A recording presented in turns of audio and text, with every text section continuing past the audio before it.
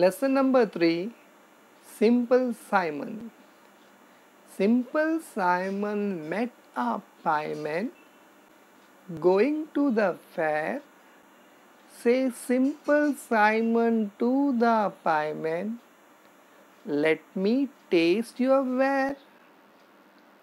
Says the pieman to Simple Simon, Show me first your penny Says simple Simon to the pieman, Indeed, I have not any.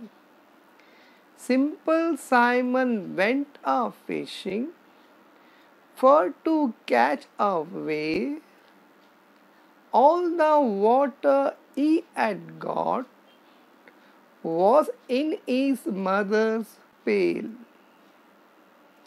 He went for water in a sieve, but soon it all fell through, and now poor simple Simon bids you all adieu.